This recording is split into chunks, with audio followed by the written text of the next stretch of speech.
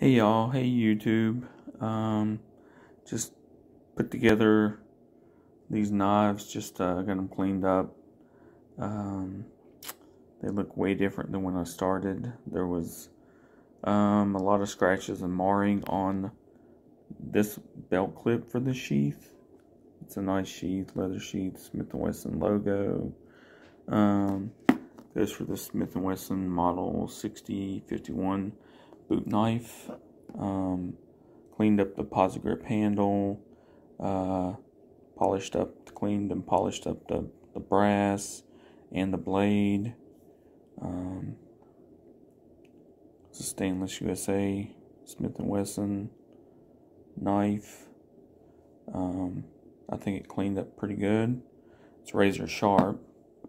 Um, this is a Smith & Wesson Model 820 police knife.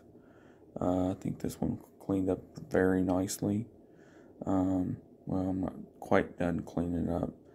There's a little bit of something right there. Uh, but it's a Smith & Wesson.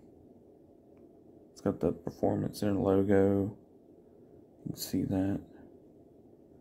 Um, Smith & Wesson logos on it. This is the sheath. Night, the sheath cleaned up nicely. Smith & Wesson logos. Um, another Smith & Wesson logo. Made in USA. And then this one I had to rehabilitate from, um, kind of from memory. because the end of it was chunks missing out of it and it had been chewed up by a dog. Not my dog. That's Vincent. He's really good. He's a really good boy.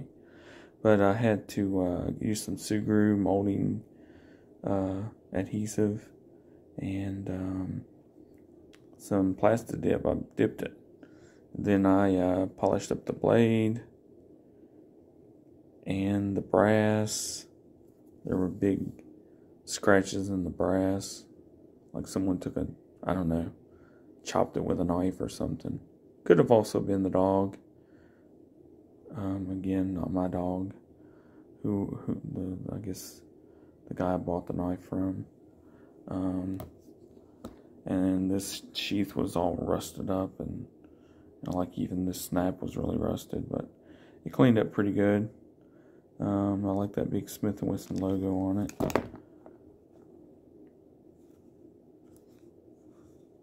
Fits the knife well. Now I've got a couple other um, sheaths I've rehabilitated. Uh, made in the USA. I've got the knife that fits this, but I've also got a lighter sheath. This is a dark brown. It looks almost black. It's actually dark brown, but it's um, I've got the lighter tan version of the knife. The uh, custom USA knife is in it right now. Another made in USA sheath. Um, I've got the knife in process right now for this. Uh, is a 650 and I'm through with the sheath. The sheath looks perfect now. I mean, pretty much. And inside there's, I don't know. That's the way she's look inside, I guess.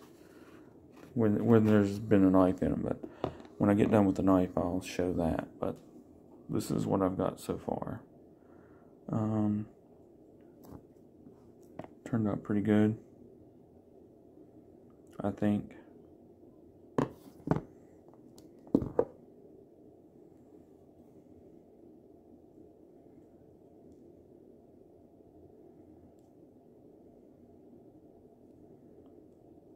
These are very grippy knives, especially this Posigrip handle.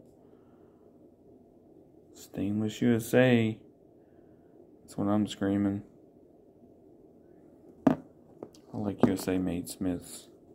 I mean, some Smiths that were made in, you know, other places are nice too, but I don't know. It's just something about a USA made Smith. I collect them and,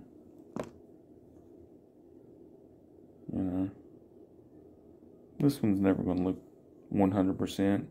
It's just a project knife. It's sharp. You know, I'll wear it out in the woods or something. It's got a good sheath. it's as best as I could do with what I had. This thing was so marred.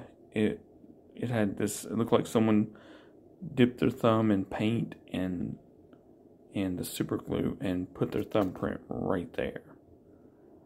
And I got it off. Anyway, that's all. Please like and subscribe.